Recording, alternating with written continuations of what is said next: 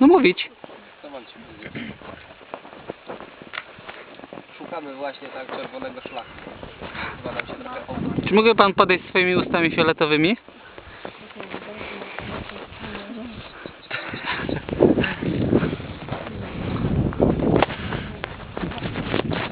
Dziewczyny, macie minutę dla siebie.